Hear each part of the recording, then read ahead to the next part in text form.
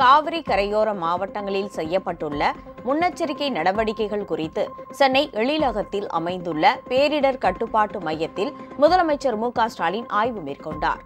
கர்நாடக அணைகளில் இருந்து திறக்கப்பட்டுள்ள தண்ணீர் மேட்டூர் அணைக்கு வந்து அங்கிருந்து அதிக அளவில் காவிரியில் தண்ணீர் திறந்துவிடப்பட்டுள்ளது.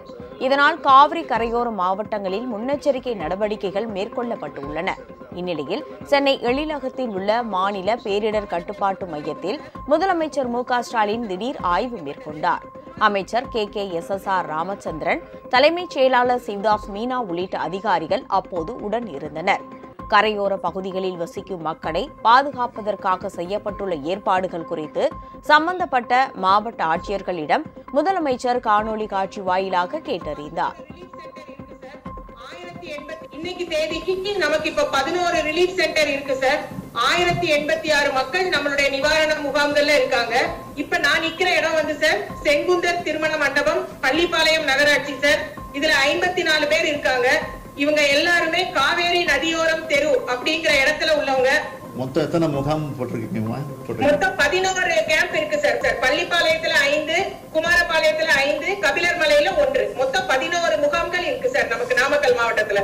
ஒவ்வொரு கேம்புக்கும் அலுவலரை ஃபிக்ஸ் பண்ணியிருக்கீங்களா ஒவ்வொரு முகாமுக்கும் குமாரபாளையத்துக்கு முதல்ல நம்ம டெப்டி கலெக்டர் தலைமையில ஒரு டீம் போட்டிருக்கிறோம் சார் ஒவ்வொரு முகாமுக்கும் ஒரு விஏஓ இன்சார்ஜா இருக்காரு சார் பப்ளிக் பேசுகிறேன் வணக்கங்க சார் வணக்கம் சார் வணக்கங்க சார் என் பேர் தனலட்சுமி சார் நாமக்கல் மாவட்ட பள்ளிக்கூடத்துல இருக்கிறேங்க சார் எங்களுக்கு எல்லா வசதியும் நகராட்சிக்காரங்க செஞ்சு தராங்க சார் கலெக்டர் அம்மாவும் நாலு தடவை அஞ்சு தடவை வந்து பாத்துட்டு போறாங்க சார் கவுன்சிலர் சாரும் தலைவர் சாரும் எல்லாரும் வந்து பாத்துட்டு போறாங்க சார் எங்களுக்கு எந்த பிரச்சனையும் இல்லை. எங்களுக்கு நிம்மதியா பத்திரமா இருக்கிறாங்க சார் தைரியமா இருங்க.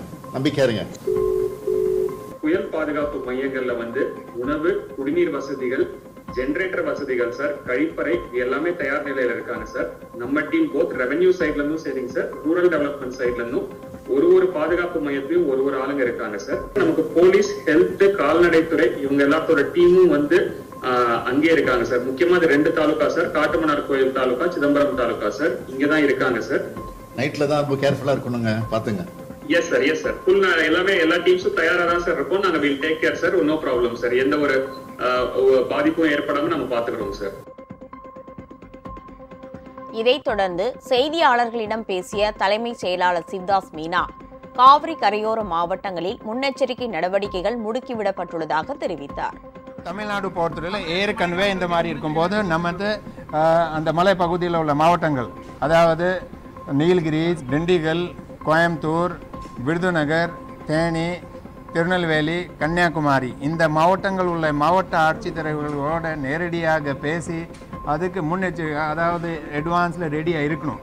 ஏன்னா இந்த மாதிரி ஹெவி ரெயின் அதெல்லாம் நில் சரிவு அதெல்லாம் வரும்போது அதுக்கு பாதும் பொது மக்களோட பாதுகாப்பு தான் முக்கியம். ஸோ அதுக்கு தேவையான ஏற்பாடுகள் பண்ணியிருக்கோம் உங்கள் ராஜ் நியூஸ் தொலைக்காட்சியில் திங்கள் முதல் வெள்ளி வரை தினந்தோறும் பிற்பகல் இரண்டு மணிக்கு உங்கள் பகுதியில் உள்ள குறைகளை நேரலையில் தெரிவிக்கும் புகார் பெட்டி நிகழ்ச்சி. பங்கு பெறுங்கள் பயனடையுங்கள் காணத் தவறாதீர்கள்.